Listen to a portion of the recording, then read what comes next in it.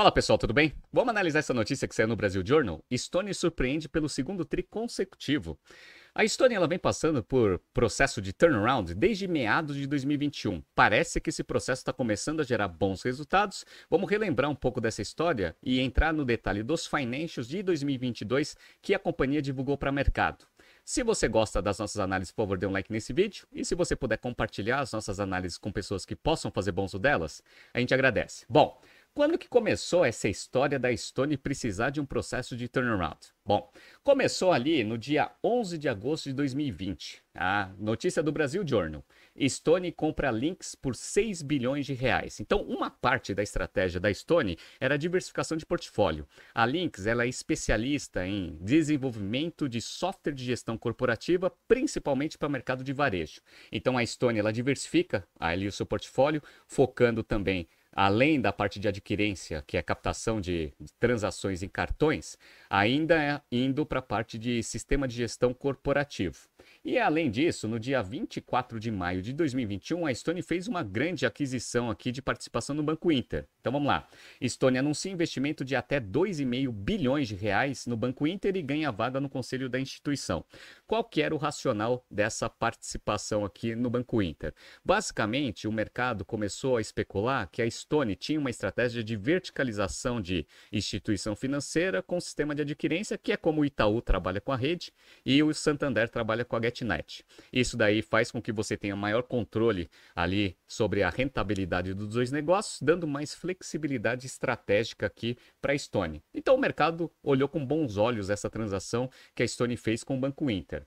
Só que o que, que, aconteceu? Aconteceu que a Stone ela ficou com a estratégia operacional muito mais complexa do que ela tinha antes dessas duas aquisições. E isso daqui começou a causar alguns problemas operacionais.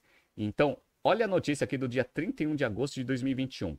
Stone perde dinheiro com crédito. A ação cai 40% no ano. O que, que aconteceu aqui com a Stone? Ela errou. Ah, então ela começou a executar tanto a parte de estratégia de integração com a Lynx e também desenvolver aquela verticalização entre sistema financeiro, banco e também a parte de adquirência. E ela errou nessa, nesse processo. Vamos lá? A Stone mergulhou no prejuízo do segundo trimestre. A maquininha verde perdeu dinheiro com a originação de crédito, rateou as provisões para cima e mandou parar novas concessões, mas ainda não consegue prever quando a operação estará funcionando e rentável. O mercado já esperava um resultado fraco, mas os números ainda sim surpreenderam. A raiz do problema, a dificuldade da empresa em navegar um novo cenário em que três centrais de recebíveis que deveriam conversar entre si simplesmente não conversam, levando a problemas na execução de garantias, que é a base de concessão de crédito, né, pessoal? Um provisionamento que já chega a 40% da carteira de crédito e 2 bilhões de reais e a suspensão de novas concessões. Então ela viu que ela não estava conseguindo avaliar muito bem as garantias dos empréstimos que já foram originados, 2 bilhões de reais, e ela simplesmente mandou parar novas é, linhas de crédito que a empresa poderia oferecer para o mercado. Só que isso daqui trouxe, obviamente, uma sinalização muito negativa para o mercado. Por quê? Porque todo mundo estava esperando que essa verticalização entre sistema financeiro, produtos financeiros e adquirência seria a grande avenida de crescimento para a companhia. Então vamos lá. Com os problemas, a Stone parou de originar novos empréstimos em julho, o que deve levar as receitas de crédito a quase zero no terceiro trimestre. E ao que tudo indica, deve demorar mais três a seis meses para retomar a concessão de empréstimos. Vou mostrar para vocês que essa concessão de empréstimo não, não voltou aos patamares anteriores até hoje. Ah, só para vocês verem a complexidade que é esse tipo de operação. Só que olha que interessante, pessoal. Esse problema, ele foi ali focado na parte de crédito, mas ele deflagrou uma complexidade operacional que a Stone tinha e que ela não estava conseguindo resolver. Então aí, aí que foi o início do processo de reestruturação. Tanto é que no dia 23 de dezembro de 2021 saiu essa notícia aqui no Brasil Journal. Exclusivo: Stone contrata banco e advogados. Olha que interessante essa notícia, hein? A Stone contratou o JP Morgan para avaliar alternativas estratégicas para a companhia. Ao mesmo tempo, a empresa de André Street contratou Galdino e Coelho Advogados, mais conhecido por sua prática de reestruturação de empresas e resolução de disputas. Então estava claro aqui que a Stone estava precisando de ajuda para conseguir organizar esse processo operacional muito mais complexo que ela tinha antes das duas aquisições, né? Aí saiu uma notícia no dia 18 de março de 2022 aqui Brasil Journal. Stone diz que o pior já passou, papel decola. Basicamente nesse anúncio, a Stone estava tentando dar uma acalmada no mercado e também anunciando um pouco da reestruturação que ela estava executando. Então vamos lá. A Stone também anunciou que está dividindo sua gestão em duas unidades de negócios, cada uma com um COO específico. Uma delas reúne a área de serviços financeiros, que inclui pagamento e operações de bank e crédito. Já a divisão de softwares reúne links e os demais né, ativos que foram adquiridos pela companhia. A partir do primeiro trimestre, os resultados dessas duas áreas serão reportados separadamente. A empresa também reforçou o management. O João Bernard, empreendedor catarinense que fundou a startup Chaotic System, vendida para Links em 2015, é o novo CIO da companhia, responsável por produto, tecnologia e dados, com foco principal na plataforma financeira. Sandro Brasile, ex-VP de Gente na Ambev, assume a área de gente e gestão. E o Diego Salgado, diretor executivo de Debt Capital Markets do JP Morgan até maio do ano passado, assumiu a tesouraria. Então, está trocando a estrutura organizacional e colocando pessoas bem experientes para comandar essas áreas, né?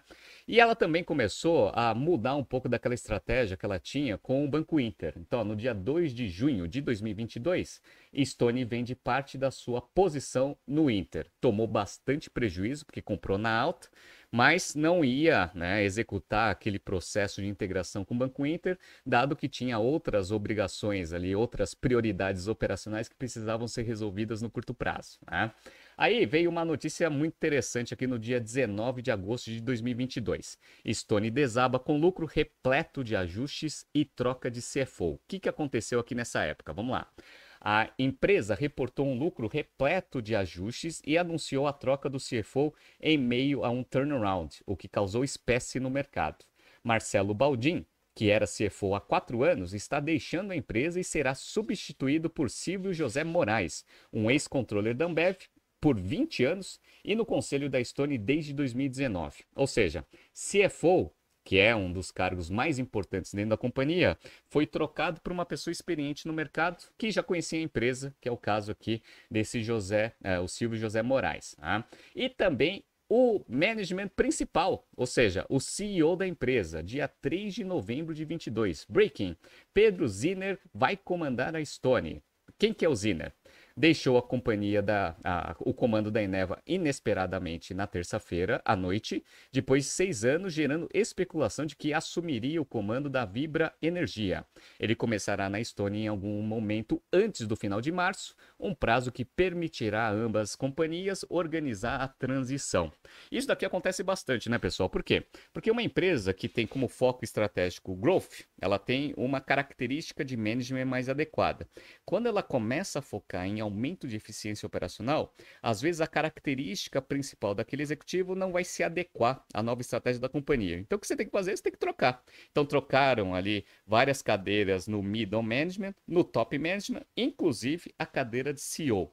E também ela finalizou aquela simplificação estratégica, zerando a sua posição no Banco Inter. Então, ó, notícia do dia 1 de fevereiro desse ano, 2023. Stone zera a sua posição no Banco Inter, dado que agora ela está focada em organizar a sua própria operação. Beleza. Vamos entrar agora né, na notícia para a gente ver como que foram os resultados do quarto trimestre e o fechado de 2022. Vamos lá? Bora! A Stone reportou mais um resultado acima do consenso, com uma alta expressiva na receita líquida e uma melhora na rentabilidade, ajudada por ganhos de eficiência e pela reprecificação do portfólio. O resultado do quarto TRI, o último do CEO Thiago Piau, Piau, Piau, desculpa, que está indo para o board, é reflexo do turnaround que a Stone começou no final de 2021 com o mantra: retomar rentabilidade sem abrir mão do crescimento. No terceiro trimestre, a companhia já havia mostrado melhoras relevantes no seu PNL. Vamos lá. No trimestre, o volume transacionado pelos clientes pequenos e médios da Estônia aumentou 23%, chegando a 81,9 bilhões de reais, acima do range de 78 e 79 que havia passado como guidance. Então, bateu o guidance ali de Total Payment Volume. O TPV, o Total Payment Volume, cresceu duas vezes acima da indústria, né, que cresceu 12% segundo a BEX, com a Stone ganhando share no segmento. A alta teve a ver com o aumento da base de clientes, mas também com o fato da Stone estar penetrando clientes maiores nesse segmento, o que tem feito o total payment value médio né, por cliente subir. O take rate ah, desse segmento ficou praticamente, praticamente flat em relação ao terceiro trimestre, 2,21. Mas quando você, faz a, quando você faz a comparação do take rate do quarto trimestre de 22 para o quarto trimestre de 21, você vai ver que teve um aumento expressivo. Né? Bora, vamos lá. Tudo isso trouxe uma melhora muito forte nos índices de lucratividade operacional. Vamos lá. No quarto trimestre, a receita líquida da Stone subiu 44,5% no ano, contra 2,7 bilhões aqui, enquanto o EBITDA ajustado veio em 1,27 bilhão, praticamente em linha com o consenso do sell side. O EBT, o lucro antes de imposto de renda, né, e o lucro líquido, no entanto, vieram bem acima das projeções e do guidance da própria Stone. O EBT ajustado ficou em 316 milhões de reais, em comparação ao guidance de 250 milhões e aos de 220 milhões que o mercado projetava. Então, ó, o lucro antes de imposto de renda muito acima do que estava sendo esperado pelo mercado. Já o lucro líquido ajustado veio 231 milhões de reais, 20% acima do consenso. Então os resultados foram muito bons, né? Em meados de 2021, a Stone paralisou seu negócio de crédito depois de sofrer perdas relevantes com a operação. Piau disse que ao longo do ano passado a companhia se dedicou a reconstruir o time e criar novos sistemas de concessão e score de crédito. Segundo ele, a empresa já começou a oferecer crédito para um pool de clientes selecionados no modelo de teste e pretende escalar o produto no segundo trimestre de 23, mas de forma bem conservadora, até pelo cenário macro. Então, olha que interessante, né, pessoal? Aquele erro que a Stone cometeu em 2021 fez com que ela ficasse atualmente, né, na situação que a gente vê do mercado financeiro global e brasileiro muito melhor. Por quê? Porque ela não emprestou muito dinheiro sem fazer uma exposição de risco adequada e agora ela está começando né, a voltar a fazer esse tipo de operação, obviamente com um sistema muito mais robusto. E olha que interessante o que, que ele disse aqui na notícia. Vamos lá. Abre aspas. Agora, o nosso sistema é baseado nisso, que é a parte de garantias é, estruturadas mas faz um assessment mais global das garantias e do dono da empresa, disse ele. Além disso, vimos que precisávamos de capabilities melhores no nosso time para termos mais experiência em crédito e não reinventar a roda em práticas já consolidadas de mercado. O processo de renegociação de crédito também tem que ser muito dinâmico. Antes tínhamos um produto muito engessado. O novo CEO, Pedro Zinner, assume o comando em abril. Tá? Então, só para mostrar aqui que existia a necessidade de trazer bastante gente experiente, reorganizar essa operação com tempo para conseguir ter um produto mais confiável principalmente nessa parte de concessão de crédito, que a gente está vendo que se você fizer errado, vai dar problema, como a gente está vendo em várias instituições financeiras no mundo inteiro, né? Então vamos pegar aqui os resultados fechados de 2022 para a gente ver como que foi a Stone aqui em relação a 2021. Então vamos lá. Para quem está vendo aqui no YouTube, o, a, o total de receita e lucratividade financeira aumentou 98,8%, chegando a 9,5 bilhões de reais. O EBITDA ajustado cresceu 183%, chegando a 4,3 bilhões de reais. E o EBT ajustado, ou seja, o lucro antes de imposto de renda, cresceu 828%, chegando a 716 milhões de reais. Então, todas aqui, né, as métricas principais cresceram. E olha que interessante, para quem está vendo aqui no YouTube, eles abrem né, o que, que é financial service e o que, que é softwares. Então, ó, softwares aqui cresceu em termos de receita e lucratividade 106,9%. Ou seja, agora você consegue executar uma estratégia de crescimento muito mais organizada do que você tinha antes. E a parte de financial services também cresceu 97,6%. No agregado, o crescimento de 98,8%. E as unidades começaram a gerar bastante lucratividade. Então, ó, o EBIT daqui da operação de financial services cresceu 177%, chegando a 4,1 bilhões. E a parte de software também começou a dar EBITDA positivo, bastante positivo, aliás, né? Porque em 2021 ela deu um EBITDA positivo, só que só de 56 milhões, agora chegou a 209 milhões, ou seja, um crescimento de 271%. Né? Então, é as três unidades de negócio, as duas unidades de negócios principais e no agregado, tudo melhorou aqui no ano de 2022 depois do processo de turnaround. Uma das métricas mais importantes aqui e que mostra um pouco da estratégia atual aqui da Stone é o seguinte, ó. O total payment volume no ano cresceu 33,4%, chegando a 367 bilhões de reais aqui de transações passadas aqui no sistema da Stone. E quando você pega na segmentação Key Account e pequenas e médias empresas, pequenas e médias empresas cresceu 52,3%. Tá? E os key accounts caíram 8,9%. É aquela, aquele foco que a Stone tem é, de ter ali o seu produto mais adequado para pequenas e médias empresas. Eles tentaram abocanhar ali grandes clientes numa estratégia de grande market share, principalmente em cima da Cielo e da rede. E agora parece que eles estão ainda vendo que pequenas e médias empresas ainda têm um potencial muito grande de participação de mercado. Então, provavelmente no ano de 2022 voltou às origens, focando ali nesse tipo de segmento. E o take rate, ele também cresceu bastante, né? Então, como eu falei para vocês, ó, o take rate de pequenas e médias empresas, ali do ano de 2021 médio, foi de 1,54%. Agora foi para 2,15%, ou seja, um aumento de 0,61 pontos percentuais. E para a parte de Key Accounts, ele cresceu 0,2 pontos percentuais, passando de 0,74% para 0,95%. Então você aumenta os volumes transacionados e aumenta o take rate, e aí você tem aquele aumento de top line mais de 98% de crescimento em relação a 2021. No ano de 2022, o lucro líquido ainda está negativo, 526 milhões de reais negativos aqui em 2022, contra um prejuízo de 1,3 bilhões, ou seja, mesmo a empresa estando em prejuízo, o resultado foi muito melhor aqui que 2021. Tá? Bom, o que, que eu acho que foi ruim, tá? mas que já era minimamente esperado para a Stone em 2022?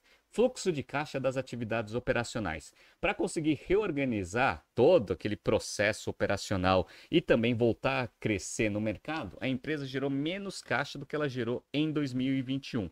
Para quem está vendo aqui no YouTube, ó, a geração de caixa operacional da Estônia em 2021 foi de 3,6 bilhões de reais.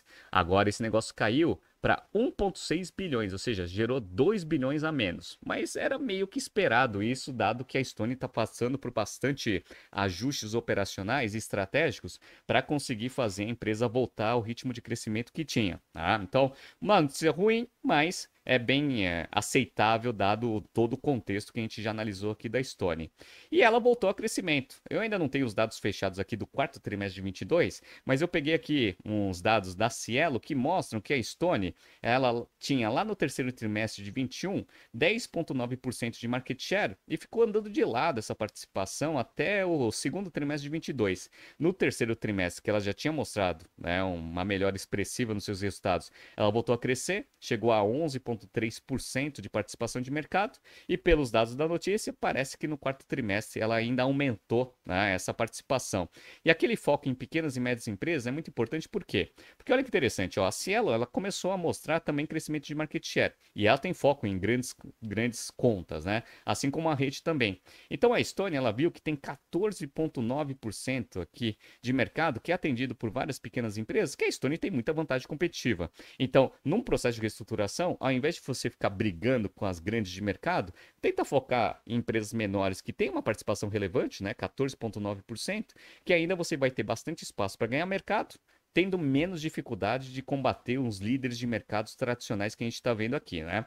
E aí, o que aconteceu? O ano está sendo muito bom aqui para a Stone, pelo menos em relação aos peers de mercado, né? Então a ação começou o ano com 8,47 dólares aqui de cotação, atualmente está sendo tradado a 8,98, um pouco acima do que ela começou o ano, mas dentro de várias empresas que trabalham nesse segmento ou no segmento financeiro, a gente está vendo que pelo menos ela está com um pouquinho de ganho. Só que quando você pega um período um pouco mais longo, a gente vê o drama da Stone e por isso que ela precisa desse turnaround.